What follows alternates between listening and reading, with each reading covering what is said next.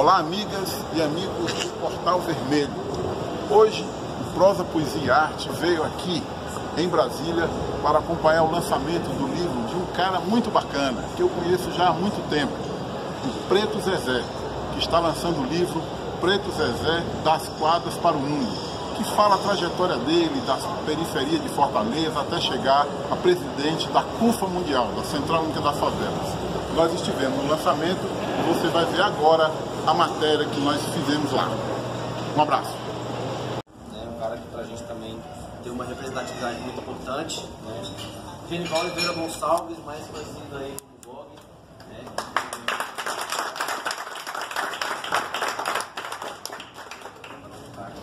secretário da Casa Civil, Valdetário Andrade Monteiro. E nosso querido presidente da CUFA Global, presidente da CUFA do Ceará, Pedro Zezé. Eu sigo me envolvendo com polêmica, uma linguagem nada acadêmica. Jim Crow, Black Coats, Blackface, Conheça para saber que país é esse. No início era de busão, hoje de avião, o rap viajando por toda a nação, transmitindo, empregando a visão, sobrevivo como porta-voz, eu como magnata.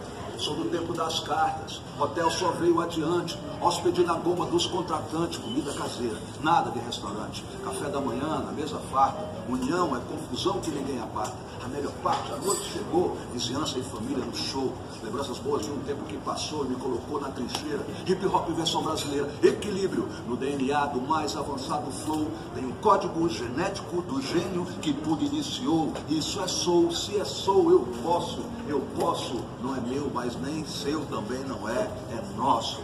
E assim que será. Zezé, parabéns. Aqui.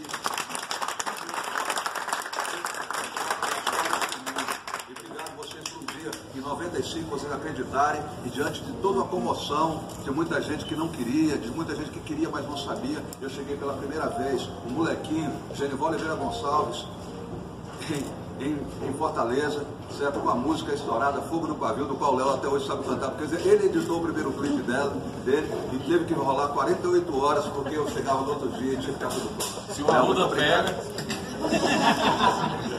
Obrigado, gente. Beijo. É, em primeiro lugar, eu quero agradecer a vocês, porque pela dificuldade que eu vi, a quantidade de mensagens que chegou, tem gente presa no trânsito, isso aqui é uma guerra para chegar. Né? Então vocês são vitoriosos, vitoriosas, né? resistentes. É, segundo assim, eu estou muito feliz de ter tanta gente que fazia muito tempo que eu não via, estou vendo aqui a Ana, e a gente começou a falar, ela ainda estava morando em Moçambique, é outra coisa, né? Muito tempo, estou vendo a Magda ali, que é movimento Dancenias, vendo o Léo, que é parte viva disso aqui também, construiu, operar disso aqui, Inácio Carvalho, como um bom cearense, os cearenses atraem os outros cearenses, né? Então, é uma regra de cearense aqui, a Jacques. É igual Formiga, que é um mais, né? Muito tem um. Tem um. e uma das coisas que também eu fico feliz é de poder, que eu acho que é uma coisa nova, porque sempre criou-se uma ideia de que as pessoas que vêm da favela elas não liam e diziam que era só por causa do preço, não é. Às vezes é porque elas não se identificam com o que está escrito também. Às vezes é porque a forma que é contada a história, ela também não tem link nenhum com a vida das pessoas. O rap, no caso, ele, ele, ele os nossos livros sonoros, ó, muito doido, né? Foi passando de pessoa para pessoa. Se a gente fizer uma contagem hoje de quantas letras de rap a gente decorou, acho que na metade da biblioteca dessa aqui, né? Decorado, entendeu? Decorado. É decorado, tem letra e o rap não. Agora não, agora tá mais breve, tá mais simples, mas nós, nós, quando nós iniciamos era uma complexidade enorme para você compor uma letra de rap. E aí um negócio de 5, 6, 7, 8. Já teve música de 11 minutos. O GOG era vários clássicos né, de alguns minutos a mais daquela lógica. Que a, a preocupação não era vender uma música rápida de assimilação fácil, era provocar uma reflexão e identidade das pessoas. E essa história de escrever um livro é interessante porque, apesar do, do rap ser uma linguagem já muito boa, de, de traduzir as coisas que a gente pensa, levar o nosso pensamento e adaptar uma linguagem, o livro ele é um registro material de uma memória. E eu acho que no momento em que a gente tira 50 mil fotos da gente mesmo para colocar na internet, em que a foto que eu tirar agora e botar na internet daqui a 5 minutos, ela já é velha, porque tem que vir outra para renovar, né? Tem que fazer o tal do história, tem que ter 300 milhões de histórias e o primeiro vai ficando para trás o tempo todo. Assim, uma descartabilidade enorme. Você ousar escrever um livro na contramão disso, as pessoas lerem, as pessoas se interessarem, para mim é uma coisa muito vitoriosa nesses tempos tão descartáveis, né? Em que a tendência é que a gente seja pautado por algoritmos. Nós né? falamos uma coisa aqui no celular, daqui a pouco vai propaganda daquela coisa que você estava falando. Então está o tempo todo sendo monitorado e pautado e forjado para atender uma orientação, um impulso forjado por uma inteligência artificial de uma máquina, por interesses que a gente nem sabe mais o que, são. E o livro também é um pouco. É... Eu tentei não colocar, se as pessoas pegam a história do Zezé, mas eu tentei um pouco sair da lógica daqui. Ah, mas o Zezé, de o meu exemplo ser utilizado para, inclusive, colocar como se a outras pessoas iguais a mim não chegassem onde eu quero, porque elas não querem. Mas, mas que o Zezé chegar e revelar como foi difícil, é uma prova do quanto a sociedade é desigual. Porque se minimamente a maioria dos jovens tivesse 50% do acesso às coisas e parcerias que eu tive, com certeza teriam milhões de Zezé espalhados pelo Brasil.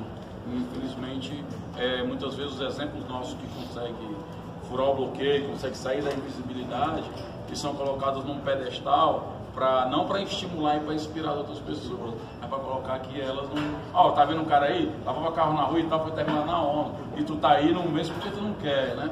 Pelo contrário, né? Eu não quero que ninguém passe pelas privações que eu passei. Eu não quero que nenhum jovem adolescente tenha o, o, dilema na sua vida que tem que escolher que trabalhar, estudar e tem que trabalhar na rua, porque inclusive os meus amigos que trabalhavam na rua comigo, a maioria morreu, eu estou preso. Então não quero essa trajetória para ninguém, pelo contrário, eu quero que ninguém tenha que incorporar já na infância uma ideia de um adulto para ter que trabalhar, que a gente do Nordeste é muito forte isso, né, Val? Então, assim, e passa como uma coisa muito natural, inclusive. Eu encontro crianças no sinal, lá em Fortaleza agora que está tendo muita criança, né, nos lugares públicos, e eu nunca dou esmola, nunca nada. Às vezes eu, eu compro até tudo para a criança ir embora para casa logo, fico com as coisas e mando ela embora. É, e aí eu questiono porque ela não devia estar, tá, estar tá na rua, devia estar tá na escola, em casa. E a criança, ela com agressividade às vezes, ela fala assim, não, mas é melhor estar na, aqui trabalhando, ajudando minha mãe, do que estar roubando. Quando é melhor, não é melhor ela estar ali, é melhor estar em casa. Então, assim, começa a se viver um momento também de naturalizar coisas extremamente absurdas. E aí eu acho que é um momento também, o livro vem, um momento de propor um, um, uma parada, todo mundo dar uma respirada, e a gente começar a procurar construir agendas comuns. Então aí eu, quando eu fui fazer, foi extremamente difícil de o que, que eu vou colocar, o que, que eu vou tirar. Se você ver as fotos que eu coloquei, elas não têm nome. Elas são voltadas para as pessoas que estão nas fotos. Tem muita gente que nem sabe quem está na foto, mas a pessoa que foi fotografada sabe que está lá. Então vou ter propósito, inclusive, sem legenda. E quando foi construindo a ideia do livro também, como é que eu ia construir, né? Então assim, começa pela minha mãe, depois começa pela história da quadra. Eu fiz de um jeito que eu contasse a minha história lá no Ceará, mas se você olhar é a história brasileira, né? De como se constrói cidade, de como as pessoas que vivem no interior, eh, elas são banidas por uma condição, imagina agora, com seca, com imigração, um monte de coisa, as pessoas vão entupir as cidades que não tem mais estrutura para receber essas cidades, né, cara? E aí passa pelas experiências nossas de conhecer, mesmo com todas as desavenças, a desigualdade, a violência e tudo, a gente consegue fazer brotar uma série de possibilidades naquele terreno onde ninguém acreditava que existiria nada. Então também uma, uma forma de possibilitar um olhar sobre esses territórios, que a gente chama de territórios invisíveis, invisível na denominação meio comum que a gente está no pé, aqueles que somente a polícia vê, que você vive o território que o tempo inteiro aparece nas páginas policiais, o tempo inteiro é lembrado somente como espaço de tragédia, de desgraça, de sofrimento, de tudo que é ruim. Então toda vez que você olha para aquele lugar, só se vê carência e depressão, se vê emoção, se vê cultura, se vê potência. E aí o livro provoca a exercitar um pouco esse olhar. Como cearense eu tento usar o bom humor, que é até revolucionário no início de dificuldade de entender isso. Por isso que até é piada da gente, o cara veio constrangido. Quando eu fui ver que na verdade isso é uma estratégia, é, principalmente no Ceará, o Patativa já fala isso, né? E com isso na boca, na boca a gente zomba do sofrer. Que é uma estratégia que o cearense encontrou de fazer desse riso uma forma de enfrentar as adversidades. Então eu pego algumas coisas até meio trágicas que aconteceram com a gente e transformo em algumas reflexões. né? E tem umas histórias engraçadas eu acho que é muito interessante. Essa questão da invisibilidade, eu falei da desigualdade, mas a invisibilidade do Brasil ela é um processo muito complexo. Se você pegar, vamos pegar esse, considerando que esse espaço aqui é a realidade brasileira, e se eu perguntar, por exemplo, quem acredita que existe racismo no Brasil, levanta a mão. Quem acredita que existe racismo no Brasil, levanta a mão. Todo mundo acredita. Agora, se você perguntar a sociedade brasileira, quem é racista aqui? Você vê como é complexo e sofisticado o processo, entendeu? Porque todo mundo assume que existe um fenômeno que domina, que exclui, que inclusive compromete a vida. Está os dados de homicídio da juventude, 63 mil, 75% das pessoas que morrem são negras, mas ninguém vê isso como um processo que ocorre no Brasil. Por isso que eu digo que é sofisticado. E aí nós encontramos um constrangimento pedagógico para refletir, fazer as pessoas passarem um pouco pelos lugares onde a gente está.